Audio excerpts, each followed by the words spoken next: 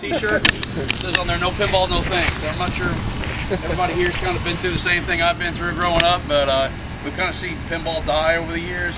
I mean, I remember when I was a kid back in the 70s, you'd see pinball machines everywhere. And then once video games came out, there was kind of a marriage there where we saw video games and pinball machines at the same time, but got to a point where the pinball machines faded out, the video games took over, and if we wanted to play pinball, we either had to buy one, which is kind of expensive, or you know, drag yourself around different various places, try to find them. And usually when you found them, they were all beat to heck, and it just kind of sucked. So um, we don't know how many times I've walked into different places and, and oh hey wow Dave & Buster's let's go check it out. It's got to be a couple new Sterns in there. No, nothing. You walk in there, it's all redemption games. So and you walk into other places and there's you know they got 50 different video games going on, but no pins. But for us pinball players, people that love this game, this is for us. We've been working hard for the past three months on this. I know this has been a dream of mine for years. Uh, it's also been a dream of Kurt's. And he'll probably come out here and tell you a little bit about some of the things that he's experienced throughout the years. But uh, just want to thank everybody for being here today. And uh, this place is going to be open seven days a week. I don't know if they close for Christmas, but the games are always working, right? They're like mini slaves. Anyway, um, my friend and business partner Kurt Van Zyl. Sue's going to be out. Okay. All right. I just was talking. Spiel. Your turn.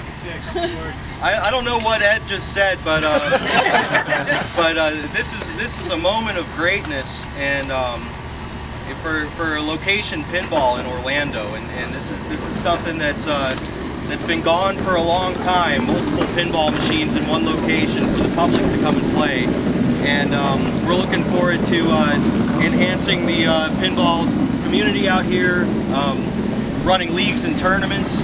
Uh, especially for uh, World Pinball Player ranking points and uh, the whole nine. So um, we really appreciate y'all being out here, and we'll uh, get this underway in just a moment. If I could say a couple words. I've known Kurt since we went to elementary school back together at Kive Elementary School. And ever since then, Kurt has been absolutely obsessed with completely idiosyncrasies, idiosyncrasies and, and little things that would seem completely obscure to everybody else from the very first catalog of Cushman, uh, what were they? Cushman uh, golf course maintenance equipment. That's right. the obscure and abstract has never been something out of reach for Kurt, so it is no surprise that this day has come to fruition. But it's because of people like Kurt that wonderful things around the world that go underappreciated come to life and can live again. So. Wow. That's cool. Right over here we have Sue Wentworth. She's Yay. the owner of Oviedo Bowling Center. Yeah! Yeah! Now, Sue has been really instrumental in making this happen as well, and, and anything we've asked for has been given to us. Don't get them too excited. But but Sue has really helped us out with this, and we're really happy to be partnered up with the Oviedo Bowling Center and, and the family of the place, and, and we're happy to be a part of uh, your family here. Well, thank you. We're glad to have you too. Thank you so Sue. much. So it Done would be a lot of hard work. Thank you. it'd be our honor if you cut the ribbon once we set it up. Oh gosh, that's not me. No, no, no. We'll hold it. We'll hold it, and you can cut it. It's your house. We're the guests. Okay. Okay. Before we do that, I got one more thing I want to, I want to say. I want to recognize all the people that helped us put this together, including yourself. Um, we've had a lot of help. Uh, it's difficult to do this kind of massive project like this in a short period of time by yourself. I mean, given enough time, I mean, we can all do a lot of things. But, um, just different shout outs. My dad's helped me out a lot. I know my mom's been here cleaning floors and helped paint. My yeah. sister Kelly Clamp, she's or Kelly Keller over here. she used to be Kelly Clamp, but she changed it. So anyway, yeah. My sister Kelly Keller uh, was one of the wall dogs in here, helping paint the murals and, and just making sure everything was working right. My brother-in-law Steve, Steve Keller, uh, is actually an artist over at Disney, and uh, he did a ton of work on this, and a special appreciation. I'd like to give him one of the official shirts. Nice. Very nice. Anyway, everybody that's helped out, we just we thank you.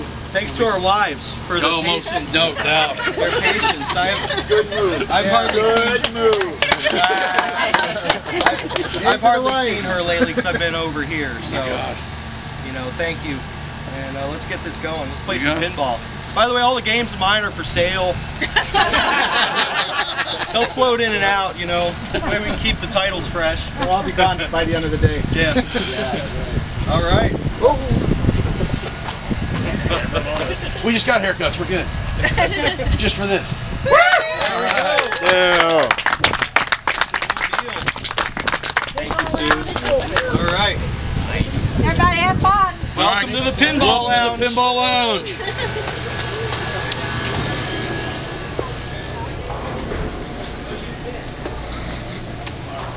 that was improv, by the way. Yeah. Come on.